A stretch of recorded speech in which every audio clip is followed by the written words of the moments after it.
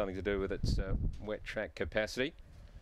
Now it goes up Gemma's Son, the light is on. And we're all set. Racing. Comes a time, got a really good start. Spirited Session, Gemma's Son's there. Driving through is Long Beach nearer the inside. So comes a time caught out three wide at the front of the field. Make that four wide.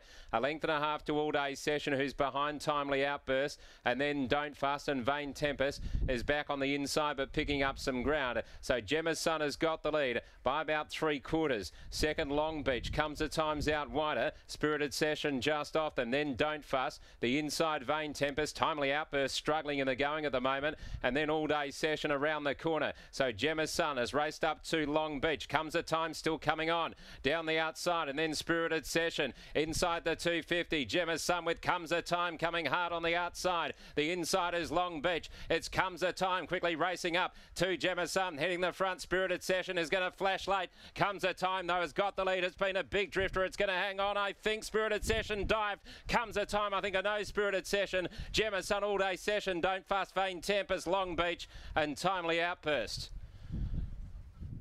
So comes a time on the outside just in front of Spirited Session.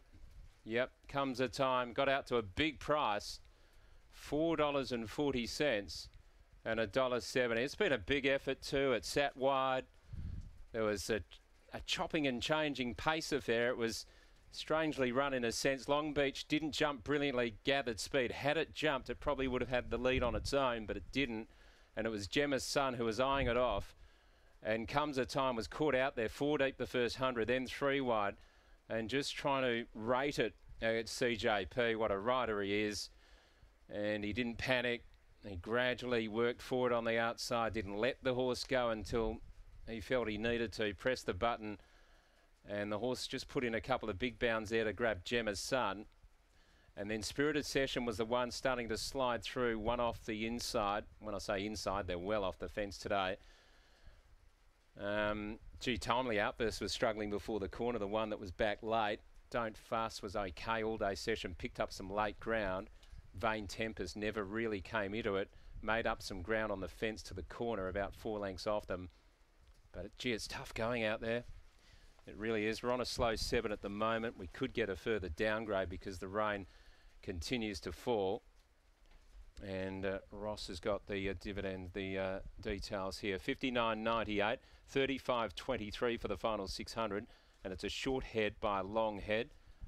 And it's 3.81 and 4. 3.81 and 4 after the running of race 3. Comes a time for Michael Grantham and CJP is by Sessions out of Let's Go. And that's win number 6 from 26 starts as we cross down to Brittany.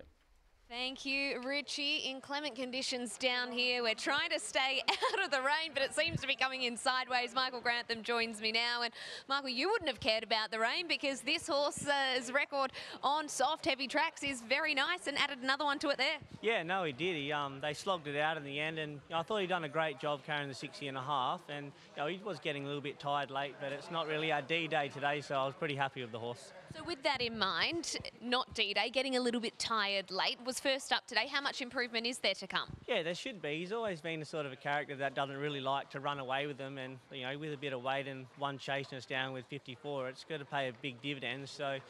In going forward from here, I think it's going to be two weeks of the idyllic, so I'll be able to freshen him up. And I know the rain's come this week, but I'd love to get him to the beach in the before then, just to get that bit of a spring back in him the beach in the conditions like this. It doesn't sound like much fun, but do you still take him on a rainy day?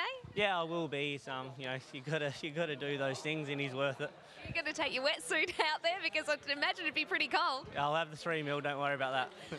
what have you seen from him behind the scenes leading up to this first up run? He's never ever a problem. The horse. Um, from last time he was in, he was a little bit scattered. Didn't really know in a way where he was. Um, obviously coming from Justin's, and now this time he come back in the stable, and you really do. I know it sounds rude, but you nearly forget he's not there. He's he's part of the furniture now, and he he's just yeah such a laid back character. Sounds like a wonderful horse to have. Enjoy those cold mornings at the beach. Yeah, no, we'll, we'll be down there.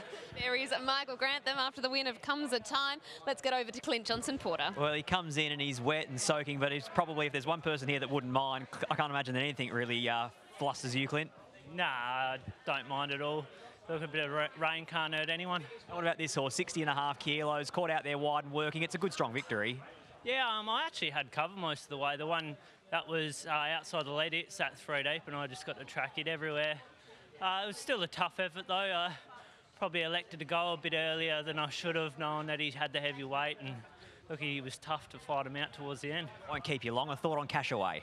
Yeah, look, his win the other day was good. Uh, it's a nice big step up in class, so hopefully we, uh, we get around safe. That's the main thing. Congratulations, well done. Yeah, thank you. There is Clint Johnston Porter. A little rain never hurt anyone. There are some uh, sound bit of advice there from CJP as he wins on Comes a Time, defeats Spirited Session and Gemma's Son. That makes it a Sessions Quinella there. 3 8, 1 and 4, the numbers from race number 3.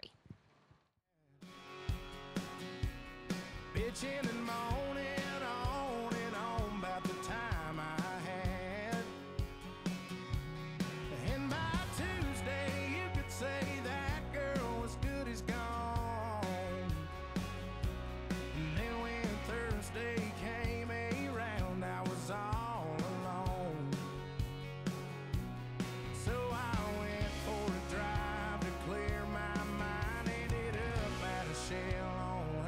65.